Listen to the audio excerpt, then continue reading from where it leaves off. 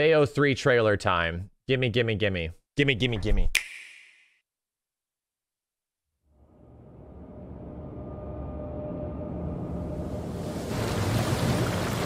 More new faces, I see. New enemy types, what the hell? Oh god, that 1080p bitrate. Oh god.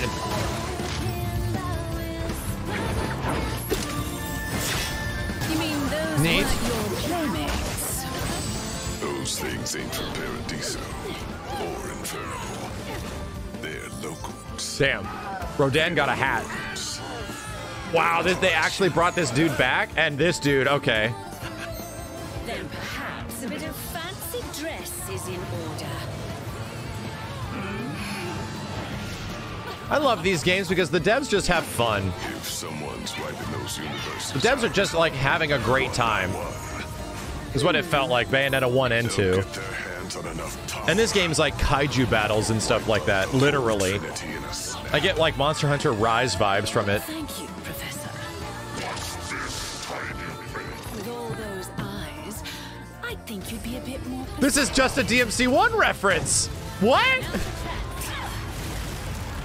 That manner is the same way that Dante talked to the big spider at the beginning of DMC1. What the hell? I can't believe Bayonetta and Dante have never actually met, like, world is under my in an official action game. That's still that, that is the one of the biggest tragedies of this entire industry. They're homunculi. Man-made bioweapons. New girl? Look, we don't have time. If we don't stop them, this world is history. And reality as we know it gets wiped out for good.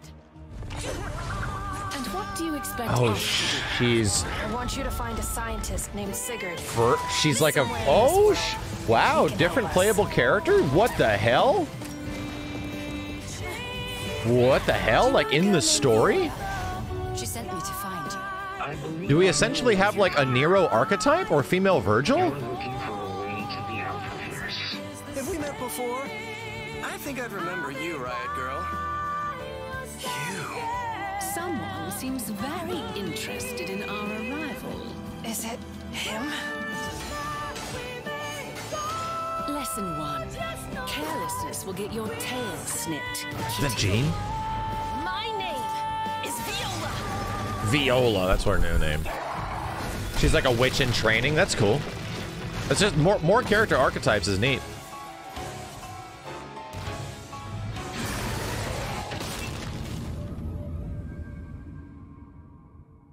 Oh, it's crumbling. Oh.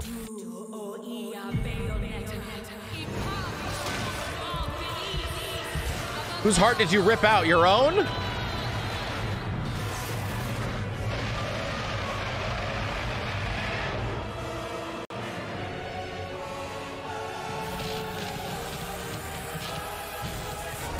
Right at right before Halloween. Right before Halloween.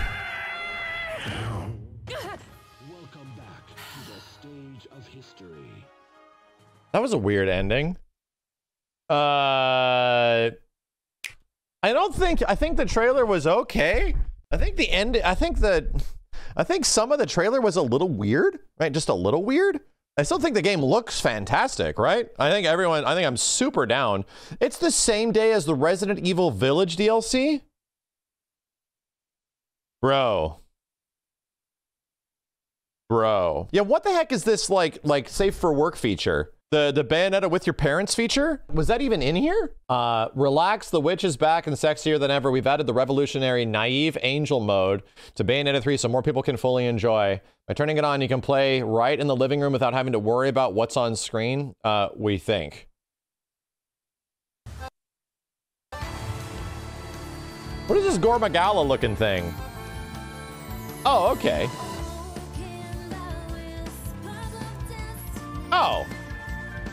But you can you still have the option. Is this what people are pissed off about?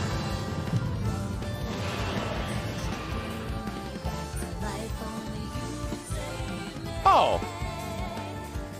Yeah, you can still get your your fuzzy bee tits. Right? They're not going anywhere. Yeah, it's a, it's a well, it's a censorship mode, but you completely have the option. So you can either get like the daytime television version or the late night HBO version. Wait a minute, people are complaining about this?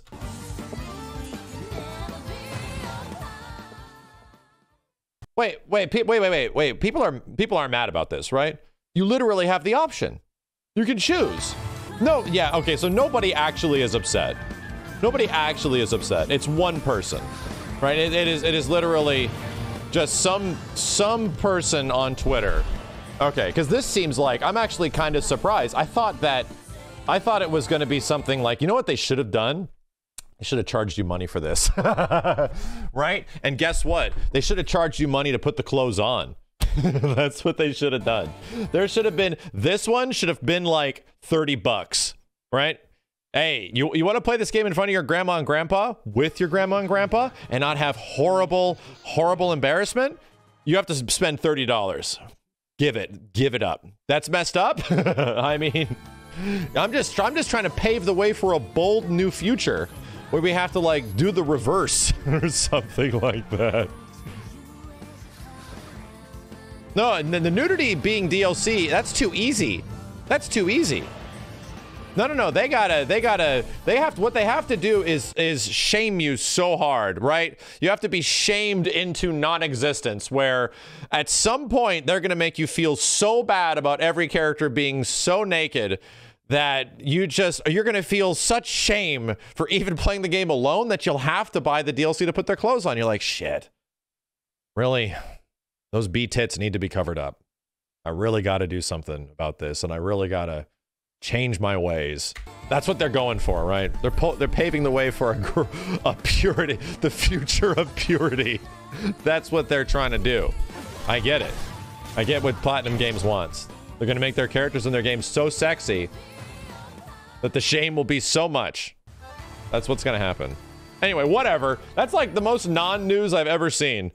Uh, this looks great. Right? This looks great. Once again, it is the crappiest fucking quality. The uh the bitrate is just the worst on 1080p videos, I swear to God. But you know, as long as it runs well and performs well, it is a Switch. This is the problem, you know, with the Switch hardware, which is essentially from the early 2010s and shit, right? It's technically running on hardware from like the early 2010s. So, it be what it do. Uh, I don't I don't know if they've actually made any official announcement of how it's going to run, like of what resolution it's going to run at. It's obviously 60 FPS, but I'm mostly assuming that it's going to be 720p to 900p docked.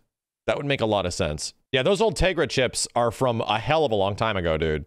They're from like the early 2010s to like 2013, 2014, something like that. Shit is uh, relatively ancient by today's standards. Just the fact that Nintendo devs are getting away with this stuff on Switch is, is pretty fucking mind blowing. Anyway, I think it looks good. I'm just, I'm just, it makes me want to play other Bayonetta games again, mostly Bayonetta 2. Bayonetta 1's good, but it's definitely got some, it's definitely got some age to it, I will say.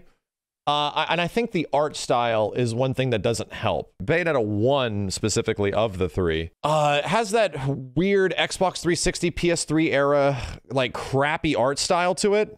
I don't know, man. And then and then you get two, and it, it definitely is a much better looking game in many ways. It looks good. I think it looks really good. I think all the kaiju stuff is really crazy and nutty.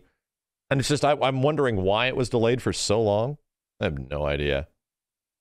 I have no idea. These games are always great, chat. They're always super good. Okami is the executive director now. Okay. Of course he's involved. Neat! All I gotta say is neat. We'll be playing that for Halloween, that's for sure.